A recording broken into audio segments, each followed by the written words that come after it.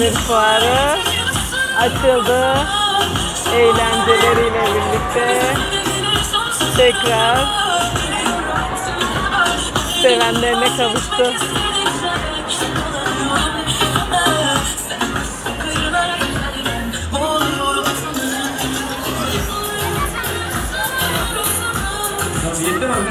En çok tercih edilen oyuncaklardan biri de.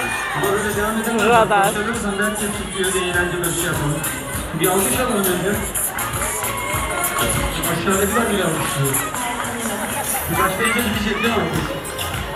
Tabii ne kemer tutmamıza gerek